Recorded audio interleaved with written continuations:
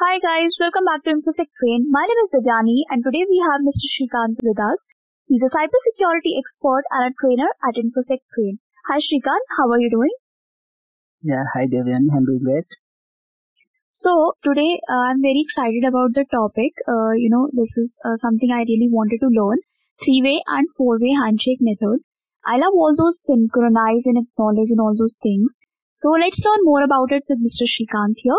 So Shrikant, what is a three-way handshake and four-way handshake and what is the major difference between both of them? Yes. So whenever you're talking about the three-way handshake method, okay. So whenever one person want to communicate with you another person, okay, there will be some handshake, right? So we can say, so whenever this uh, system one wants to communicate with the system two, what A will do, the particular A will send SYN request to the particular B machine what B will do, B will send acknowledgement and along with SYN. Okay, he will send SYN and ACK. And finally, what A will do, A will send an acknowledgement. Okay, so that is SYN, SYN-ACK acknowledgement.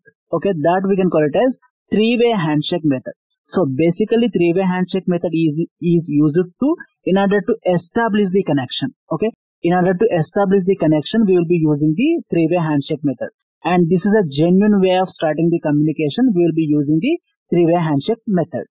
Okay? So that is about three-way handshake method. So coming to the major difference between the four-way handshake method and three-way right? So we're done with three-way handshake method. Let's see what is four-way handshake method. Okay? So first what is uh, four-way handshake method is let's say so there is a a machine and there is a b machine. Okay? Two hosts are there. They, they would like to communicate right so when we are using the four-way handshake method is exact is so whenever you want to terminate the connection, okay, what A will do, A will send a FIN request to this particular mission, but B will do, B will send a acknowledgement to this particular A. And what B will do, and B again will send a FIN request. Okay, B not only sending the acknowledgement, it is also sending the FIN request to the server, FIN request to this particular user okay? First a will send the fin request. Next b will send fin and b will send acknowledgement. Next finally a will send a acknowledgement to this b. Okay? Fin ack fin ack we can call it as four way handshake method. It is used to terminate the connection. Let's say we both are communicating right? So whenever you want to terminate the connection what we have to do is so if I terminate the connection from my side, the connection won't terminate. So the both sides, the connection should be terminated. So that's why the both side, the person A and the person B both are sending the fin flags. Okay. In order to terminate the connection, we are using four-way handshake method. In order to establish the connection, we are using the three-way handshake method. That is a major difference. Okay, well, you already told about the uses of three-way handshake and four-way handshake. But still, would you like to tell us some more use of three-way handshake and where do we use four-way handshake? Yeah, uh, we can say three-way handshake method basically.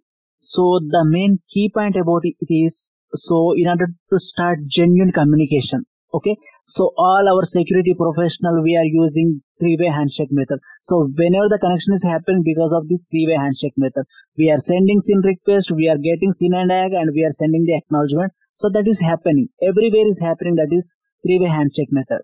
And in the same way fin okay simply you have to remember that whenever you want to terminate the connection that's it whenever you want to terminate the connection we will be using the four-way handshake method Thank you for your time, Shrikant. So, mm-hmm. if you want to learn more about three-way handshake and four-way handshake method, you guys can check out our courses at www.infosectrain.com. See you guys in the next video. Till then, stay home, stay safe. Bye bye.